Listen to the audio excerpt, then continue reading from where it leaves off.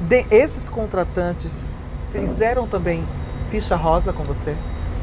O book rosa? O book ah, rosa. que na minha época era book rosa. Book rosa. Esses não, esses dois não, porque eu acho que já me conhecia e tal. Mas eu tive muita Propostas. proposta. De Tive, quanto, assim, no tive. valor? Que a gente pode falar.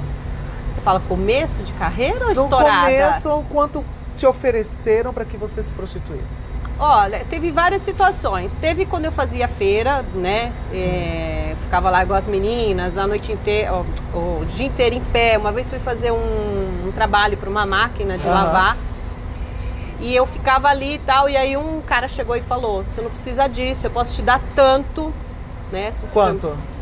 Ah, olha, na época, se eu ganhasse, vamos supor, não lembro ao certo, mas se eu ganhasse 300 reais pra estar ali o dia inteiro, Aham. ele me ofereceu tipo 2 mil?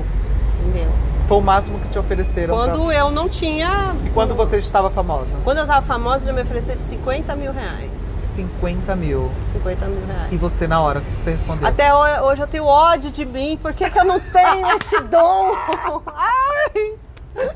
Ai, que ódio que eu tenho quando eu falo. Por quê? Por quê, meu Deus? E não foi, mas ficou Não atentada? foi. Na verdade, falou com meu irmão, que morreu. Falou com meu irmão, meu irmão falou: Olha, eu sei que ela não vai, mas pode ser o irmão? Adoro, gente. É, Luiz é não- muito. Até ne- nesses pontos É. você é divertida. Você É. leva também na esportiva. É, Mas na época dos 50 mil, eu ganhava muito dinheiro. Entendi. Então, tipo, eu achei que o cara não precisava desse jeito pra me abordar. Ele poderia me abordar de uma outra forma, Entendi, sabe? entendi. Não- E outra, eu sempre pensei assim: o cara vai sair com uma mulher, É. é. ele vai.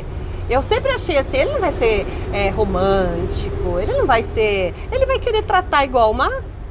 Uma- não sei, pode ser que eu esteja falando besteira. Uma lady, né, gente? É. Tem que tratar como uma lady, uma É. mulher que você sempre foi, sempre linda, querida, e as pessoas confundiam muito, né? Confundia. Confundem até é, hoje. até hoje eu recebo, às vezes, umas, umas que eu falo, meu Deus do Você céu. recebe, tipo, propostas, até assim? Até hoje eu recebo no Nudes, direct. recebe direto, né? Ah, nudes. Depois que eu falei que eu mando para advogado, eles seguraram um pouco.